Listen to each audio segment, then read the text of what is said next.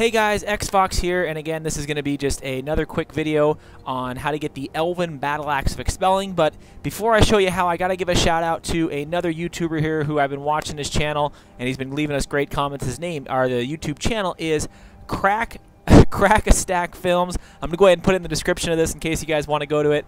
Definitely subscribe to his channel. He's got a lot of great content. But here you can see the uh, the Elven Sword is, is really good. I thought, you know, a re really decent sword, great stats on it.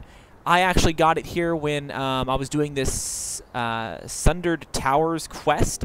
Uh, you don't really need to do it when you come here because this is just chilling out in the middle of nowhere. So you can see great stuff to it. It's worth quite a bit. So hopefully this gave you guys a good idea about where it's at and what it takes to obtain it.